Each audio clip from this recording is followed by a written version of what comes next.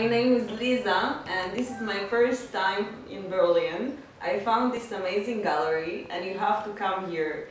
It's very very nice. You have a lot of different paintings here, a lot of small details and different styles. You will love it. You have to come.